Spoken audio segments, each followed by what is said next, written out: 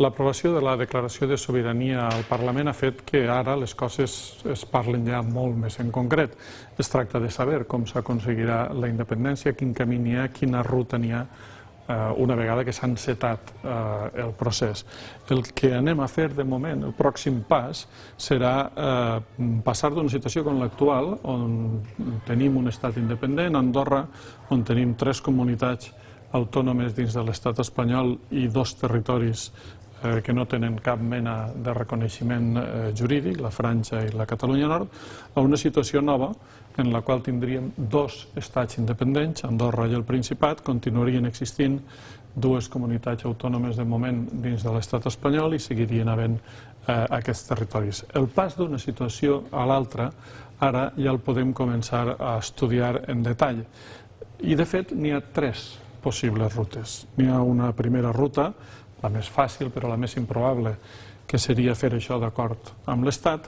N'hi hauria una segona ruta eh, que seria que l'Estat permetés o arribés a un punt o deixés arribar al punt del referèndum i després s'hi oposés, i n'hi hauria una tercera, que seria que l'Estat s'hi oposés ja d'entrada al procés i que per tant invalidés tot i haguérem de fer una eh, proclamació eh, directa d'independència. Eh, vistes en detall, analitzades en detall, eh, com van aquestes eh, rutes. La primera ruta és la més fàcil de totes. Imaginem que eh, se'ns permet fer el referèndum, que no se'ns posa cap problema per fer el referèndum i que el referèndum es guanya, és una condició indispensable, guanyar el referèndum amb suficient eh, majoria com per proclamar la independència, com perquè el Parlament del Principat proclame la independència. Aquesta seria una ruta.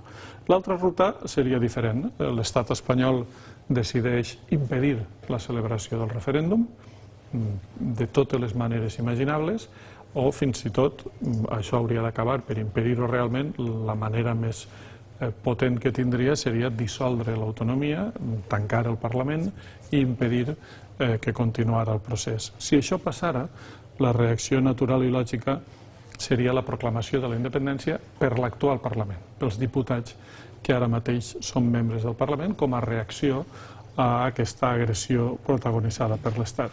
Eh, una volta després de proclamar la independència, el govern podria decidir que convoca el referèndum per revalidar eh, la independència ja aconseguida, però això en tot cas eh, diguem que seria una circumstància eh, secundària.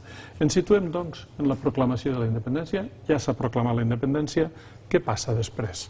Per arribar a la situació en què eh, ja el Principat esdevé un estat reconegut a nivell internacional.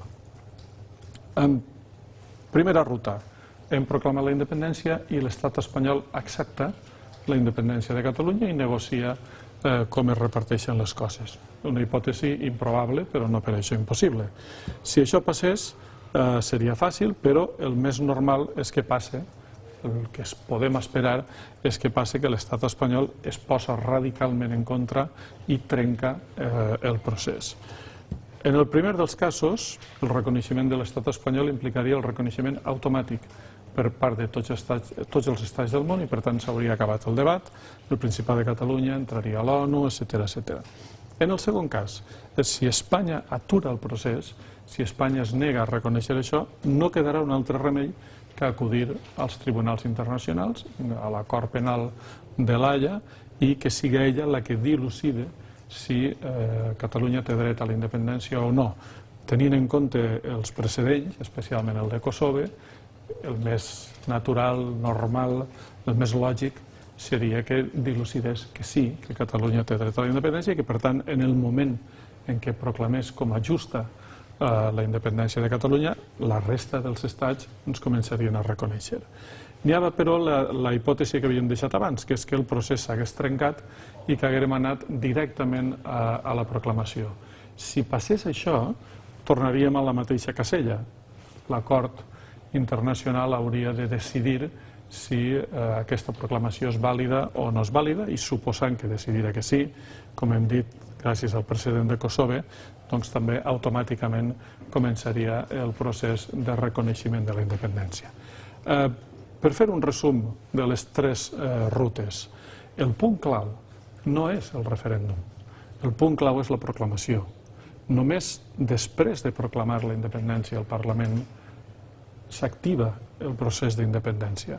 El referèndum el que fa és justificar la proclamació i demostrar la legalitat de la proclamació, però el punt clau per a arribar a ser un estat independent és, és la proclamació i és el reconeixement pels altres estats, perquè un estat no és ben bé independent fins que no el reconeixen els altres. Per tant, o bé el dia que l'estat espanyol ens reconeix, en la primera de les rutes, o bé el dia que l'acord internacional ens dona la raó en les altres dues rutes que hem estudiat.